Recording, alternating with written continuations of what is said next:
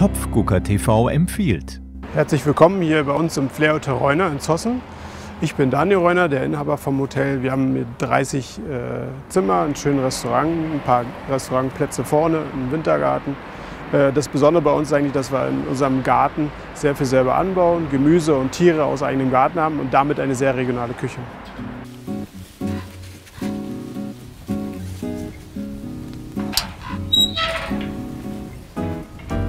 Und für uns ist wichtig, dass wir Gemüse selber anbauen, wie wir es gleich auf dem Feld sehen werden, und Tiere artgerecht halten, wie wir hier mit unseren Schweinen das sehen, die, so eine Wollschweine. Wir haben auch hinten die Kameruner Wildschafe und auch ein paar Hühner vorne. Und da versuchen wir so viel wie möglich, so regional wie möglich anzubauen. Hier sieht man unser Gemüsefeld, wo wir sehr viel selber anbauen. Hier sind gerade Patissong, Zierkürbisse. Da sieht man auch sehr schön, wie die so wachsen die werden richtig so eine Teller. Sie sehen eigentlich mehr aus wie so Zierkürbisse, aber sind komplett essbar. Und Spaghetti-Kürbisse, die wir auch verwenden in der Küche für alles Mögliche. Also hier sieht man unser Gemüsefeld, was wir schon ähm, ganz lange machen. Seit 1994 gibt es ja unser Hotel schon vorne. Und die Gärtnerei, die, so wie sie jetzt hier ist, gibt es schon seit 1900. Und hier wurde immer Gemüse und ähnliche Sachen angebaut. Und zusammen in der Kombination, dass mein Vater ja auch Jäger ist und wir Wild bekommen und unsere Schafe haben, ähm, können wir eigentlich viel im Restaurant äh, anbieten, was aus der Region ist, beziehungsweise aus dem Garten und äh, sehr regionale Küche entsprechend. Wir sind ja hier mitten im Grün, obwohl es nur äh, 20 Kilometer Luftlinie von Berlin entfernt ist. Mit der Regionalexpress kommt man vom Berliner Hauptbahnhof in einer halben Stunde nur zu uns hier draußen an, zum Zossener Bahnhof. Das ist natürlich ähm, sehr praktisch für einen kleinen Ausflug oder einen Fahrradausflug. Nicht weit von hier ist ja auch die eine der modernsten Wasserskianlagen, die, den Wasserskipark Zossen, der sehr beliebt ist äh, für Kurztrips auch.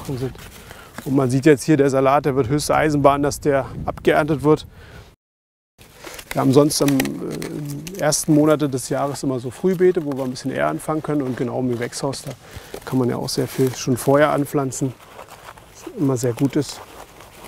Bei uns wird ja alles sofort verwertet, also alles, was so Abfall ist an Gemüse, kriegen sofort die Tiere wieder und die freuen sich, dass sie dann was fressen können.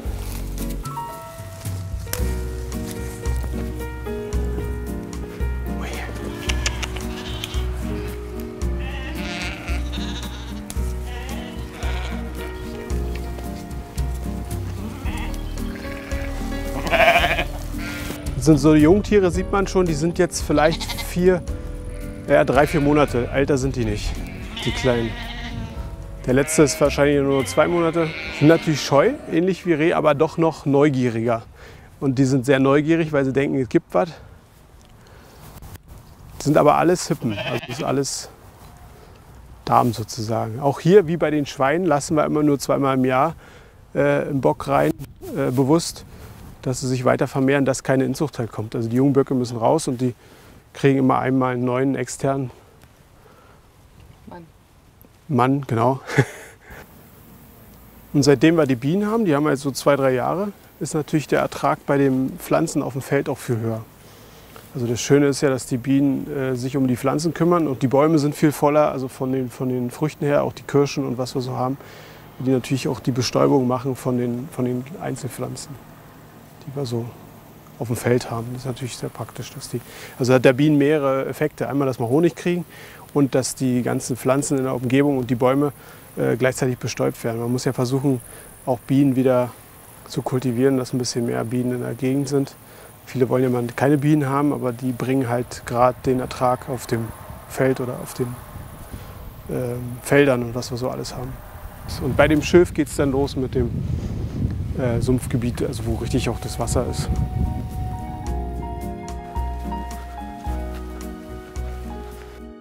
Aber hier haben wir jetzt aktuell nur die Gurken drin. Hier wurden die, die Pflänzchen vorgezogen, die jetzt auf dem Feld sind. Und jetzt sind quasi nur noch für die Wärme die Gurken hier drin, weil die jetzt sehr schön warm ist. Nebenan sind noch die Physalis. Und so wie die jetzt hier, so ziehen wir die Pflanzen fürs Feld genauso. Und dann werden sie von hier aus aufs Feld gepflanzt. Aber die sehen, die sind trotzdem orange. Aber haben nicht die, wie bei den gekaufen, diese Wachschicht, sondern sind immer relativ glatt. Genauso viel Vitamin C wie eine Zitrone. Und dadurch hat man ja sehr viel Vitamine. Das ist gleich äh, Pflicht, dass jeder ein paar Physalis essen muss. So schön ist auch unsere kleine Wiese hier mit den Äpfelbäumen. Da haben wir einen Platz für so fünf bis sechs Wohnmobile. Also die Mobile, die komplett autark sind, das heißt vielleicht nur noch Strom brauchen, können bei uns äh, einfach so stehen. Die zahlen zwar eine kleine Standmiete, aber die wird ihnen, wenn sie essen kommen, zu uns wieder gegengerechnet. Somit ist das äh, eine schöne Möglichkeit für die Urlauber, die mit einem Wohnmobil unterwegs sind.